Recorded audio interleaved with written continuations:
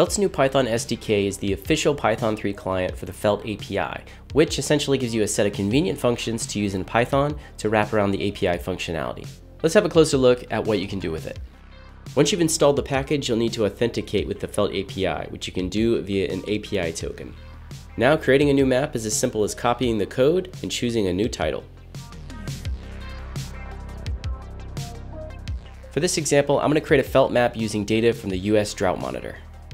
With the Felt Python SDK, I can easily upload any files that I've downloaded straight from this site, or I can create a layer via an upload from URL. With my layer now uploaded, it's actually incredibly easy to style this directly in the Felt user interface. However, we can do even more advanced customizations using the Felt Python SDK with the Felt style language. And if we head back to the US Drought Monitor site, you'll notice that this data is updated on a weekly basis. This isn't a problem because we can easily refresh this layer.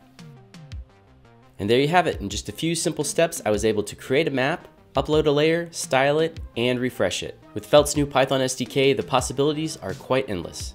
Head over to our GitHub repo to learn more.